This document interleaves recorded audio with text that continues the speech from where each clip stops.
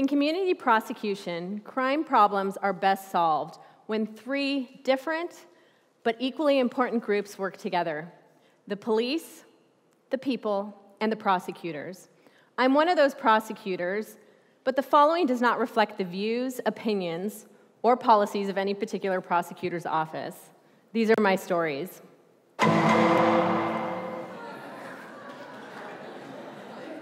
To paraphrase Mark Twain, the two most important days of my life are the day that I was born and the day I became a community prosecutor.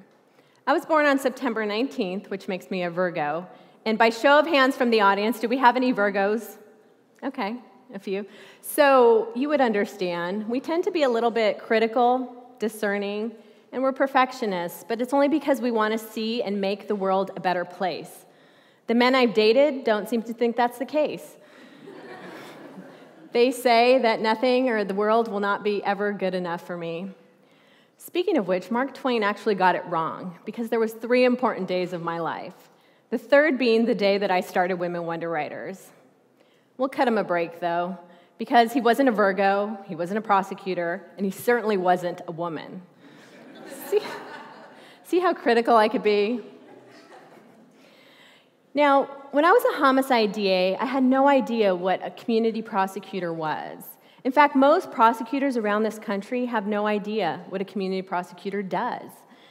And community prosecution basically believes that if you have citizens, police, and prosecutors working together, they can best solve crime, problems. It started in 1990 out of Portland. So many good things come out of Portland good coffee, good salmon, community prosecution. And back in the 1990s, the local businesses were concerned about quality of life crimes actually impeding local business development. So they went to the community, they went to the local DA's office and they started the first ever neighborhood DA unit. See how good that is? Now, um, back when I was a prosecutor, like I said, I had no idea what community prosecution was. But most community prosecution initiatives deploy prosecutors out into the community to work with citizens to identify the needs and then come up with solutions. Now, I didn't learn how to do this from any classroom, any courtroom, or any boardroom. I learned how to do this from one person, and that was my mom. She was so good at this. Living room's dirty, deploy Debbie. Dog needs to get fed, deploy Debbie. Milk's dangerously low in the fridge. Deploy, Debbie. I remember this one day in particular. I was standing in my kitchen watching my dad walk out the back door of our house with a small overnight bag he was holding, never to return again. Earlier that day, my parents had told my sister and I that they were getting a divorce. I was 12 and relieved. It was finally over. The abuse, the drinking, the screams to call police. My mom walked back towards me, put her hand on my shoulder, took a, dip, a big, deep breath, looked me right in the eyes, and said, Debbie, we really need an attorney in the family. See how good she was? Getting a divorce? Deploy Debbie. Now, looking back, my mom did not intend for me to become an attorney by her comment, but from that day on, it was the only thing I ever wanted to do to become an attorney to help my mom. I just didn't realize how difficult it was going to be. And I'm not talking about passing any sort of school exam, bar exam, or background exam. I'm talking about examining my past. Because when you're deployed out into the community, it's like a military zone. Kids are fighting wars in their heads and their hearts all alone. They're facing trauma in their schools, in the streets, and in their homes. And when you're deployed out to that, it can trigger your own traumas, like PTSD. They didn't realize back then the effects of chronic trauma on children. In fact, a lot of people making the most important decisions for kids, whether they're suspensions, expulsions, incarceration, or prosecution, back then as well as today, are not trained on trauma. Kids that are facing trauma are more likely to become involved in drugs and alcohol getting kicked out of school, criminal activity, unhealthy relationships, and teen pregnancy. By the time my, I was a senior in high school, my sister and I had all of these checked off of our list. got involved in drugs and alcohol, dropped out of school, unhealthy relationships, criminal activity, and when my sister came home, midway through her first year of college, 19 and pregnant, we got the last one teen pregnancy. Now, I remember sitting across the nun from my expulsion hearing, and she looked at my mom and I and asked, What is wrong with you?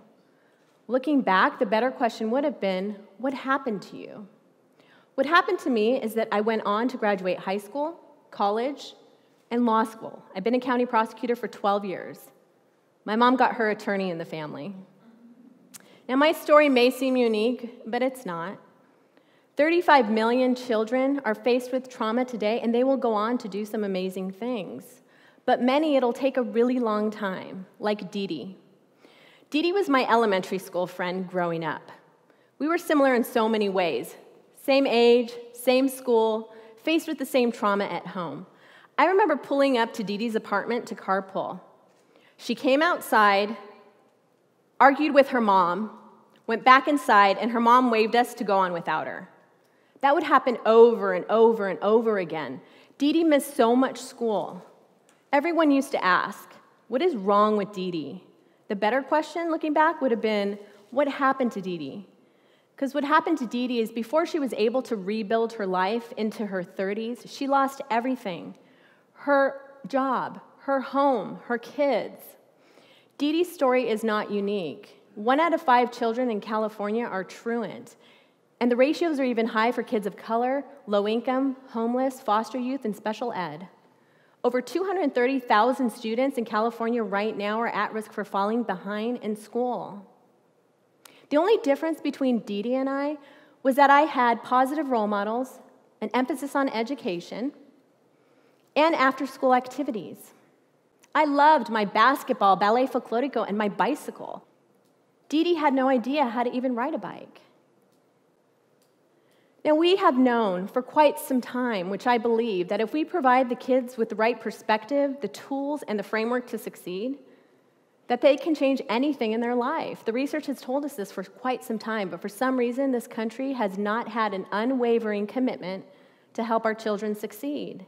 And I find this perplexing because just in the last four years, California has lost $4.5 billion in absenteeism. That could have taken 12 of us to the moon.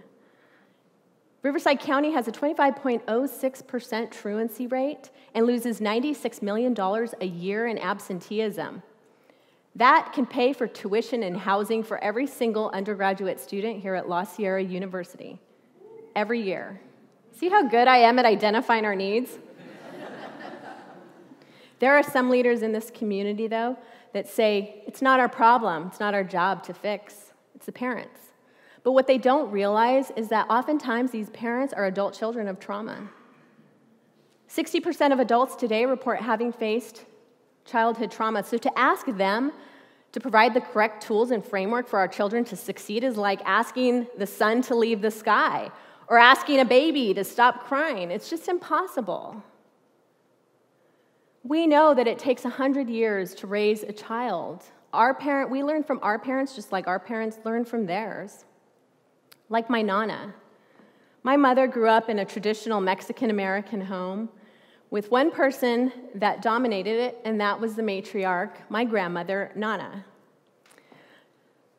Now, Nana was strict, stubborn, and stern. It was her way or no way. Nana had immigrated from Guadalajara, Mexico when she was eight when her grandfather rescued her from the orphanage that her mom abandoned her in. That abandonment from her mom shaped her vision and view of the world as well as her treatment of my mother. Nana was a woman of God. She would say the rosary every night and remind us every night that we didn't. I remember being at my eighth grade confirmation party and my Nana went to put up her champagne glass in the air to say a toast with everyone watching. She looks right at me and she says, Debbie, we really need a nun in the family. I'm 13. I just discovered boys. I just discovered how to ditch school, not get caught. I just discovered the flavor of alcohol. A nun? I remember hearing one of the boys at the party say, That would be a sin if Debbie became a nun. There's so many similarities, though, between becoming a prosecutor and a nun, especially in dating. When I talk to guys and tell them I'm a prosecutor, it feels like we're in a confessional because they have to tell me every single thing they've ever done wrong. or I get these responses Whoa, I'm not okay with the police. Or have you ever convicted anyone innocent? Or the one I like the most, you don't really think OJ did it, do you? I just stopped telling guys that I was a prosecutor. I just tell them I'm a stay at home mom. I don't even have any kids. I guess my Nana did get her nun. Nana was a good woman. She passed away when she was 98. And she used to sew my sister and I matching dresses for every holiday. She would cut me mint leaves from the garden and put them in hot water to make me tea when my stomach hurt. And she used to make her fresh, her, her dog, John John, fresh dog food every day. She used to show my sister and I the wonders of LA on the RTD bus system, all the way from the Santa Monica Pier to the La Brea tar pits to Chinatown. Nana gave me a sense of hope that I needed in order to see beyond my circumstances at home. Back in 2010, I left the gang unit to do what Nana had done for me. I wanted to give kids a new perspective. I remember some of the responses from my colleagues, like Keith. Keith was a prominent defense attorney, and he tells me, How does a homicide DA go to, sh- to social worker? Don't get me wrong, he says. A, an ounce of prevention is worth a pound of cure, but what does this do for your career? Understand that back when I was in the gang unit, reputations and promotions were based on trial stats. I had done 40 jury trials, five of which resulted in life without possibility of parole sentences for kids under 21. I had won top prosecutor of the year in the county twice and had won the Bulldog Stick It to Em award too. I was going to be the next Marcia Clark. But there came a time I began to realize that each of us has a responsibility to understand where our work fits in on a broader spectrum in this world to make it a better place. The pivotal moment for me when I was listening to a jail call by this hardcore gang member, Nemo. The gang members in my case, they had monikers that were always right on point. Midget, he was five feet tall. Goofy, he had this big smile. Nemo, he had big eyes, big lips. Nemo was on the jail call talking to his younger brother, and he said, Stop ditching school, stop smoking marijuana, stop trying to join the gang. Something inside of me clicked. We had to do something that saved Nemo's brother. I kept seeing this over and over again in the cases that I was doing no positive role models, no emphasis on education, no after school activities.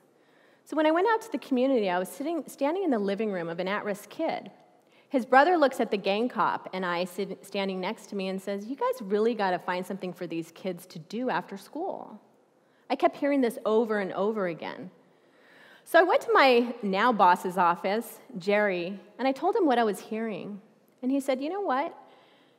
You really need to start a program for girls because those gang members usually leave the gang because of a girl. He says, You know what? Where the girls go, the boys will follow. Ever since then, I've been trying to do some things to help young women. One of the ways was starting Women Wonder Writers because I knew if I was going to do this social work, that I had to do something that fueled my authentic passion. And for me, that was writing. At the time, I was writing my first legal thriller called The Mamacita Murders. And I also had always journaled in diaries growing up. I wrote my very first poem called Authentic Self. It goes like this Mirror, mirror on the wall, who am I after all? Before life sets in and pressures begin, violence on the street, sleeping on concrete, trying to fit in amongst a world of sin, drugs and alcohol consumption, family dysfunction. Mirror, mirror on the wall, show me my authentic self, the person underneath it all. Back in 2011, we piloted our first program with five young women on the east side of Riverside, which was affected by gangs and drugs.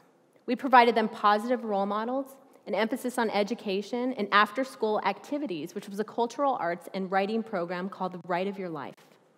And we began to see the results, like Andrea. Andrea reminded me so much of myself. She had dropped out of school, low self esteem, and unhealthy relationships. She was able to graduate from the write of your life twice. Then she went on to become a program leader. And then she went on to finish high school at a local charter school called Gateway College and Career Academy that came out of Portland. See, another good thing about Portland? Since 2011, we've served over 200 young women in after school programs every single year. We've grown into an independent, nonprofit organization that partners with public and private entities and even local universities. Just this past year, we started our first youth court and served over 40 students who were facing harsh penalties in juvenile court or the school discipline office. Now, since 2011, juvenile court filings in Riverside County have gone down each and every year and continue to go down. Now, I can't take full credit for this because many other things have followed women wonder writers. For example, Mike, the newly elected district attorney, encourages every single prosecutor to go out into the community and volunteer. Hunter, a district attorney, created Real Men Read, a literacy program for young men that's in every single juvenile hall right now in the county. And Luigi, a DA, started Board Kids, an after school board game activity at local community centers. My boss, Jerry, was right. Where the girls go, the boys will follow. There are some leaders in this community that still believe that our priorities should be on detention, incarceration, and prosecution instead of prevention, intervention, and rehabilitation. And I find this perplexing because what I know is that to deter a youth from incarceration for one year will save us $180,000 in incarceration costs for that year. I also know that if we prevent a teen from adopting a life of crime, it'll save between 1.7 and 2.3 million dollars for each youth. If this county and this country wants and expects to be a leader, it cannot stay behind in the race to dismantle the school to prison pipeline. We must become trauma informed. We must reduce chronic absenteeism. And we must correct the disparities that still exist in our juvenile justice and education systems. I am not suggesting that we abandon or suspend accountability for our kids, but I am suggesting that we stop asking them what's wrong with them, we stop expecting parents to do the impossible, and we start leveraging every single resource that we have, including our own authentic passions, to help these kids so that they can succeed, like Carissa. Carissa was one of the first girls that I mentored. And I remember sitting across from her at dinner, and she said, Will you take me to go see my dad? I said, Carissa, what's your dad going to think of me taking you to state prison to visit him? I'm a prosecutor. He's a gang member. We convicted him. She looks at me and says, He'd be cool with it. You know why? Because you helped me stay out of prison. I'm going to leave you with my version of a quote from Abraham Lincoln. Now, he wasn't a Virgo, he wasn't a prosecutor, and he wasn't a woman, but he did believe only he has a right to criticize who has a heart to help. As your community prosecutor, I believe that only he or she has a right to incarcerate who has a heart to help. Thank you for letting me share.